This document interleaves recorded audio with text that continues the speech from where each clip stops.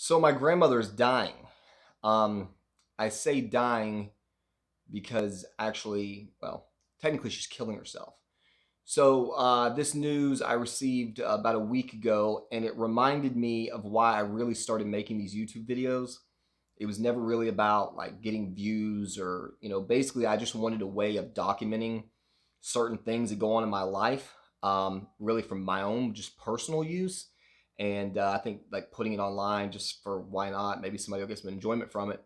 But I kind of quit making videos for a while just because I got caught up in the bullshit. And um, then I got this news, and you know I spent like uh, a year and a half in therapy when my wife and I were going through some things, and I realized like why like pay a person to listen to the way you think and feel about shit. Like I might as well just sit in front of a camera and talk to it like it's a person, then at the very least, I'll have a record of the things that I thought and felt at a certain time in my life, and I can go back to them and reflect. And I don't know, seems like a better way than spending a whole bunch of money on a therapist. So I'm gonna sit here and talk about how I feel about my grandmother dying.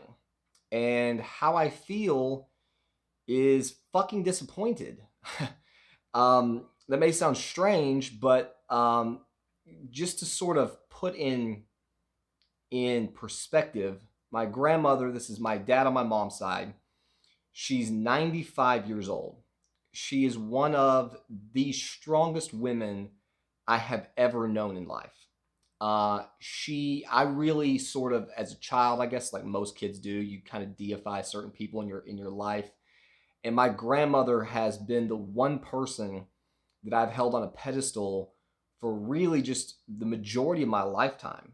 You know, she was really, I don't know, she was just a really important figure in in my growing up and forming my views in the world and sort of learning how to navigate, you know, this life that we're living in. And like I said, she was always just this this absolute rock. You know, she was like that woman that you know, didn't let you be beat up, like, you know, didn't let you feel bad for yourself. You know, if you trip and you skin your knee, you know, she wasn't going to baby you. You know, like you had to pick yourself up and let's dust yourself off and we're going to keep going. Like, you know, she didn't let you get down on yourself and and dwell in your in your failures and, you know, and she was just that strong-willed kind of woman. And so um that's the way she always lived her life. You know, nobody told her nobody was going to tell her what she was going to do except maybe my grandfather and very opinionated, very strong willed, you know, just typical old fashioned woman. You know, she she really formed my view for the way I thought all women were supposed to behave. And really no woman that I've ever met in life could hold a candle to my grandmother. You know, they no woman could fill her shoes. And so when I found out that she was dying or that she wanted to die, like that part I totally get. Like she's 95. She's definitely not the woman she used to be. You know, she's gotten to that point in life she can't get around real well. Uh, I guess, you know, in the last several months, you know, she's been in bed a lot, you know, she uh, getting weak. I mean, she's 95. That's the thing. Like, it may sound strange. I'm sitting here talking about how disappointed I am instead of how brokenhearted I am.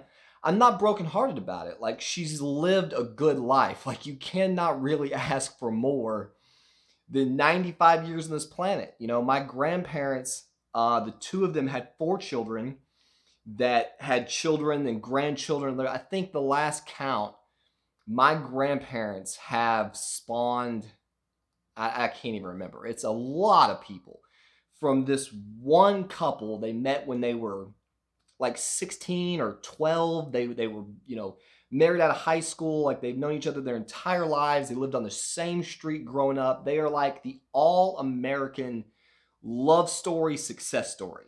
You know, like and I used to go to my grandmother all the time for relationship advice and she'd give me these stories about how her and my grandfather made it and you know they've been married for my grandparents been married for longer than most people will live. I think they're at 72, 75 years now. Maybe it's more than that. I guess they 78 years. I mean, they, they were married, I think, when they were 18, and they're 95 now, both of them. So, whatever the fuck that math is. They've been married longer than most people will live. And so, I guess the the reason I say I'm disappointed is because I don't know, man, like she's starving herself to death. You know?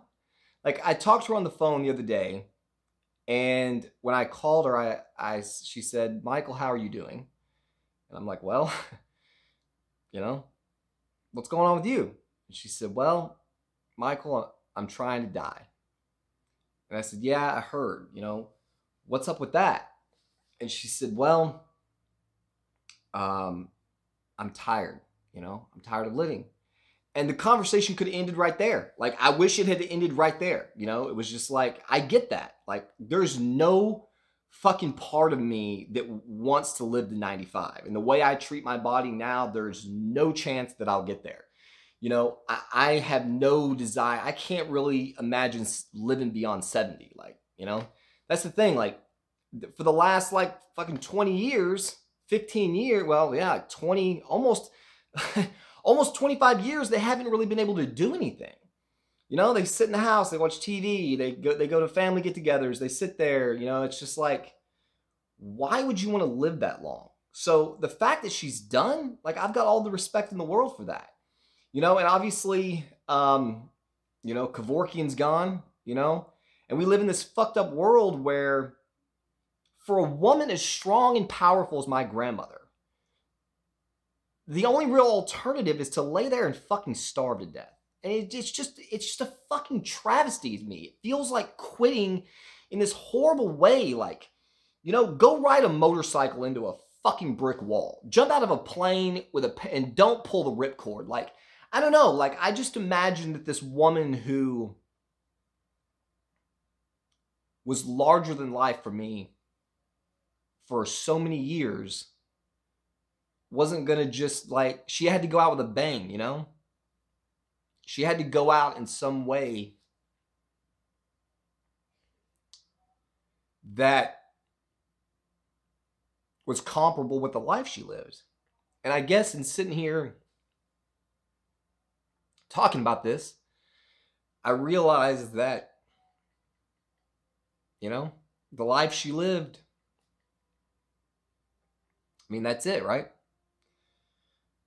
How could she have gone that would have made it, that would have brought it all together, you know? It's not a fucking movie. And I guess that's what I envisioned, you know? Like, she was a fucking superhero, and there was going to be some huge climax at the end. And instead, she's laying in a bed starving to death.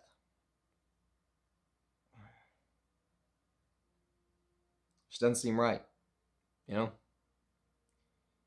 Just seems like there's um, there's got to be a better way. So,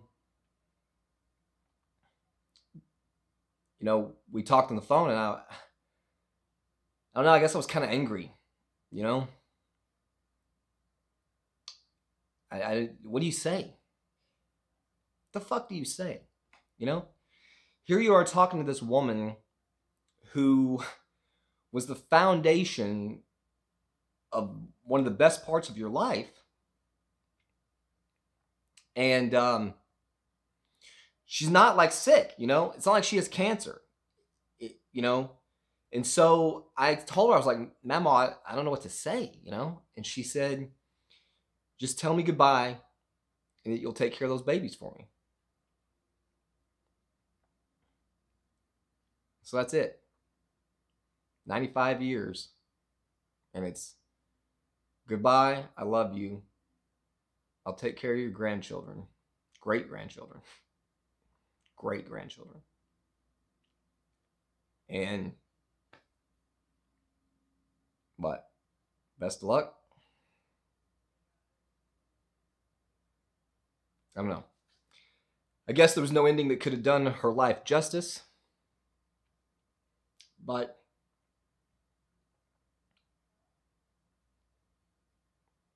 I feel very lucky to have known such a great woman. I love you, Mama.